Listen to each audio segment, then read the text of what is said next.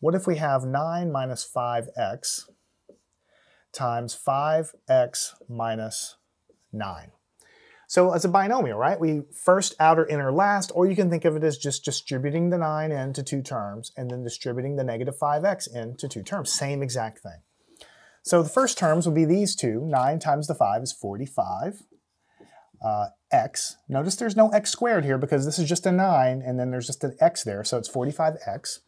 And then the outside terms is negative 9 times the positive 9, so it's going to give you negative 81. And then the inner terms, the negative 5x and the 5x is going to be multiplied to give you 25, and then x times x is x squared. But notice that it's negative 5 times the positive 5, so actually this is a negative sign. Like this, and then the last term is going to, the last terms, negative 5x times negative 9 gives you positive, 9 times 5 is 45, and then you still have an x here. So you have uh, you have uh, 45 minus 45x minus 81 minus 25x squared plus 45. Then you look and see what can I combine. I have a 45x and I have another 45x. So I can combine those to 90x minus 81 minus 25 x squared. Now in general, when we have polynomials, we always want to write them with the highest power of x first, so it'll be 25, negative 25 x squared. Then this power will be 90x then the constant will be 81, negative 81. So negative 25x squared plus 90x minus 81, that's the final answer. All right? And all of these will just proceed in a similar way. What if we have for our next one, x minus 2y, and then 3x plus 4y. Uh, 3x plus 4y, like this. All right, well, what if we have that? Again, first, outer, inner, last. First terms, x times the 3x will be 3x squared. We add the exponents.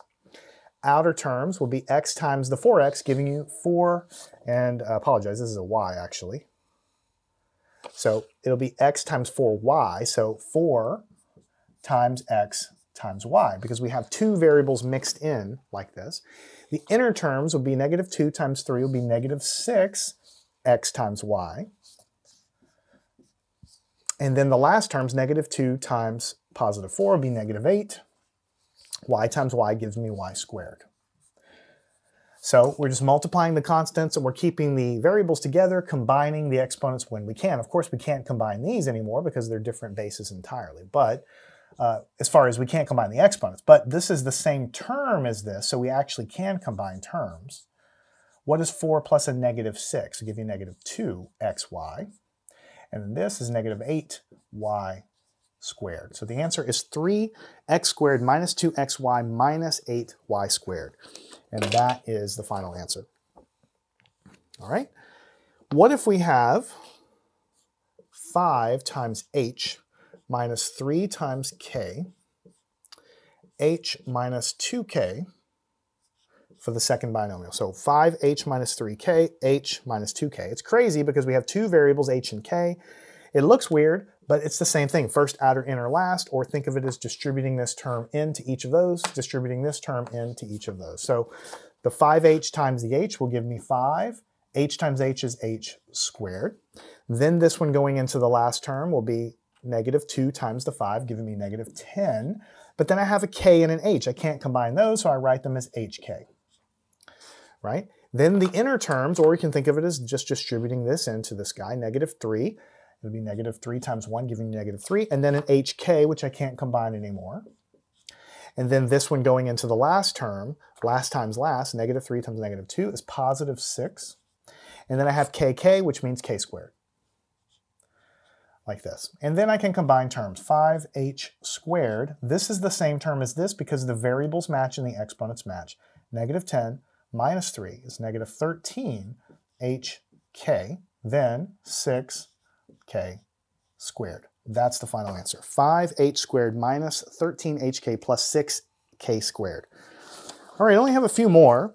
Um, as we get farther into it, we're going to have uh, more variables and maybe some weird exponents, but ultimately it'll be the same thing.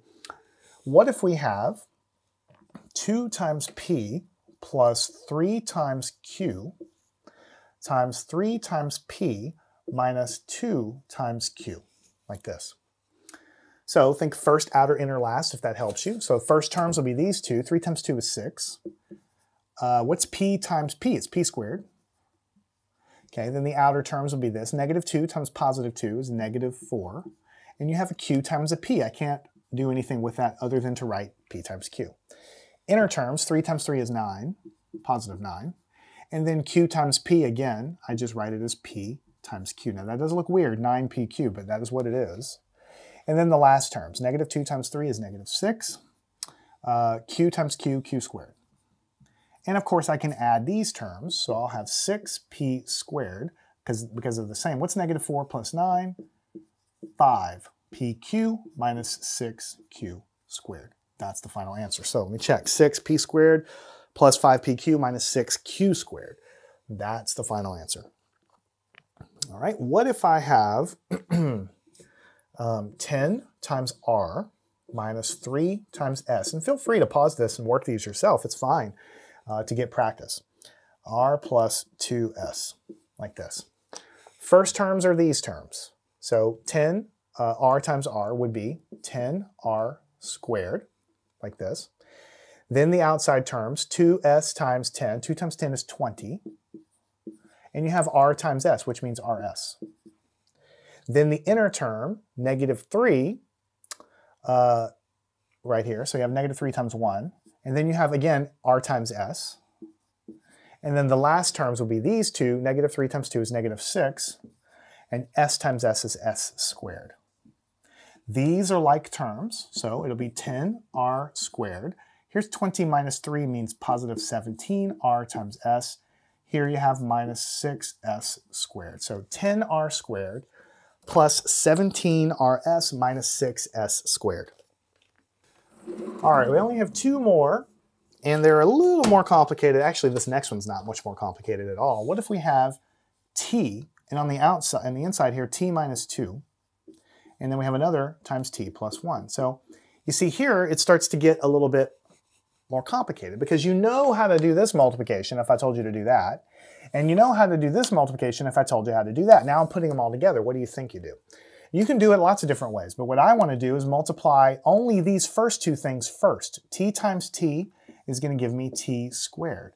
t times negative 2 is going to give me negative 2 times t. This secondary term I'm just going to save for later. It's perfectly fine to multiply two things, get the answer, and then take that answer and multiply times this. Now we know how to multiply this using FOIL or using distributing terms, the same exact thing like I've been telling you over and over again. So let's go over here and say that t squared times t is going to give me t to the third power. We add the exponents. Then t times the outside here, t squared, is going to give me t squared times 1, which gives me t squared.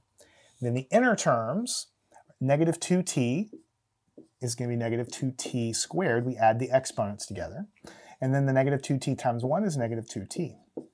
And now I can add these terms together. So I have t cubed. What is 1, the implied 1, minus 2? It's going to give you negative 1 t squared. I don't have to write the 1 there uh, because it's implied. So I get t cubed minus t squared minus 2t. That's the final answer. So if you have multiple things out here, work on them separately and then continue expanding the multiplication as you go across which we will get some opportunity to do here. m times n times m minus n times m minus 2n. Now, if I gave you this, you know, a couple lessons ago, you're, you know, it would be really hard. But now you see, you know how to multiply this, and you also know how to multiply this. So just work your way over. Do this multiplication first and save that other thing for later. So what I'm going to do is multiply this. What is mn times m? Well, the m will be adding the exponents to give you m squared n, because you multiply, it'd be m times n times m, and so then you can add the exponents on whatever is alike. The n comes along for the ride.